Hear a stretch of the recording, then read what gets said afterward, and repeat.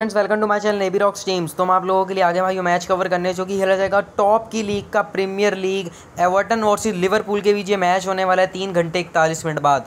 Top की league का match है भाइयों, दोनों ही मतलब ज़बरदस्त तरीके की लीग मतलब टीम्स हैं। बात करूँ इस मैच की फाइनल टीम आपको लाइनअप्स के बाद कहाँ मिलेगी? तो इस मैच की फाइनल टीम आपको लाइनअप्स के बाद मिलेगी मेरे इस चैनल पर, जिसका नाम है A B rocks dream eleven teams तो फटाफट आकर इस पर जुड़ो और इधर आप पा सकते हो हंड्रेड परसेंट विनिंग टीम हर मैच की एंड जीत सकते हो कुछ ऐसे।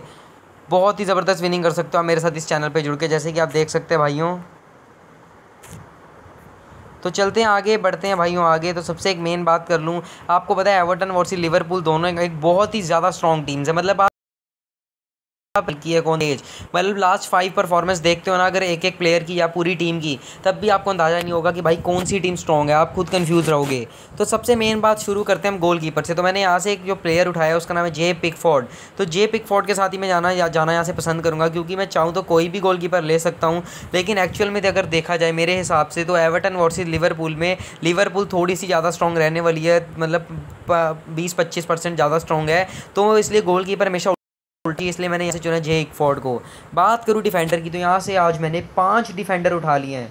अब आपको बताऊँगा क्यों उठाए हैं। तो यहाँ से मैं एक प्लेयर है टी एलेक्जेंडर एनोल्ड अलग अलग लीग्स में खेलता है टॉप का कॉम्बिनेशन बैठता है। जब एलेक्जेंडर रेनोल्ड उसके बाद ए रॉबर्टसन उसके बाद वी वन डिजिक और साथ में जे गुमेज ये तीन, ये जो चारों आप देख रहे हैं, ये अपनी गेम के हीरो हैं, क्योंकि लिवरपूल के हीरो माने जाते हैं कि ये प्लेयर भाइयों, इतने ज़बरदस्त, जैसे कि ये रॉबर्टसन या आप ले लो, बहुत ही ज़बरदस्त प्लेयर जिसकी सिलेक्शन ऑलवेज भाइयों हाई रहती है। एंड प्लेयर भाइयों मतलब ज़बरदस्त। एंड आगे से बात करूँ, यहाँ से लूँगा V van Dijk V van Dijk भाइयों कैप्टेंसी एंड वाइस कैप्टेंसी के लिए बहुत अच्छी पिक रहता था पहले। लेकिन जब से भाइयों, बारह मतलब नाइन अक्टूबर नाइन सितंबर के बाद इन्होंने जब से रीम एलेवन ने पॉइंट सिस्टम बदला है, तब से थोड़ी प्रॉब्लम झेलना पड़ रहा है। और आगे से बात करूँ वाई मीना की। तो वाई मीना मैंने इसलिए चुना है भाइयों, क्योंकि आपको पता है येरी मीना जो कि एवर्टन का टॉप का डिफेंडर है। मैं ये नहीं चाहता कि भाई, ये ना हो कि अगर अगर बाई चांस एवर्टन जीत गई और हमारे पास उसका एक भी डिफेंडर ना हुआ तो हम भारी लॉस में ना जाएँ।